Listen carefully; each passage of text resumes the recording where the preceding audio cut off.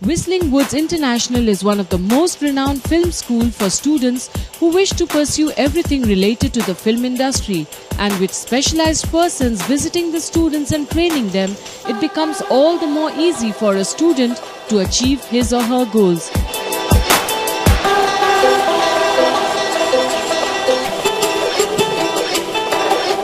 Choreographer Saroj Khan visited the campus and interacted about the fifth Veda art forms to which founder and chairman Subhash Gai gave a very vivid explanation. Fifth Veda cultural hub है हमारे विष्णु में। और fifth वेदा नाम मैंने क्यों रखा? हमारे जितने, हमारे सिविलाइजेशन में चार वेदा माने जाते हैं, जो कि किस तरह से जीना है?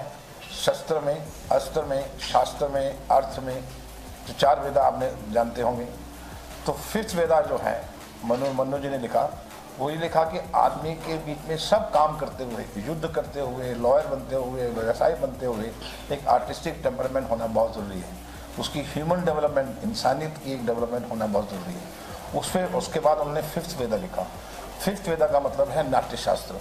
नाट्यशास्त्र का मतलब है dance drama music poetry painting तो जितने आर्ट फॉर्म हैं, उस नाट्यशास्त्र के अंदर आते हैं।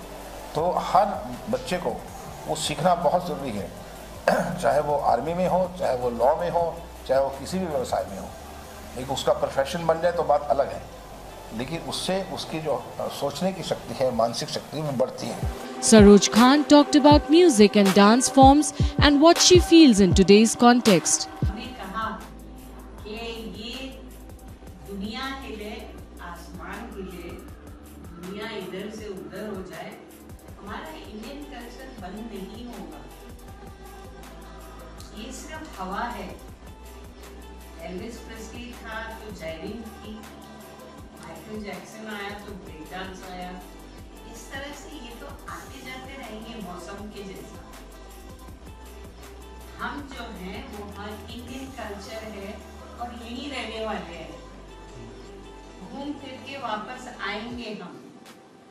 अब देखिए, आपको फ़िल्म इंडस्ट्री में भी स्क्रीन पे आपको बद्रीनाथ की दुल्हनिया दिख रही है ना ऐसा फिर देखेंगे आप।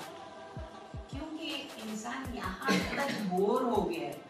काले कपड़े देख देख के सीधे बाल देख देख के।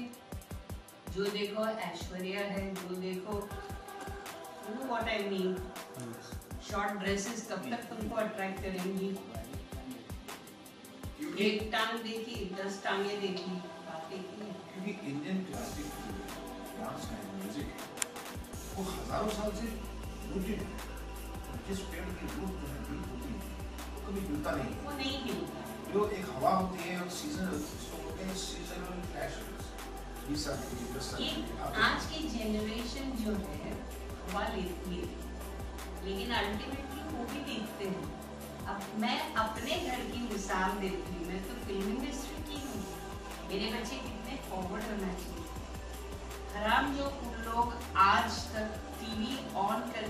म्यूज़िक एल्बम देखते हो। नहीं, बल्कि पुराने गाने सुनते हैं। हमारी क्लासिकल को आप बेकार मत समझो।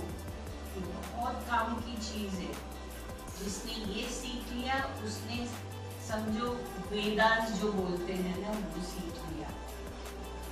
Indian cultural dance is like a treasure It will be a blessing for the students to take training from the one and only Saroj Khan who personifies dance in every form.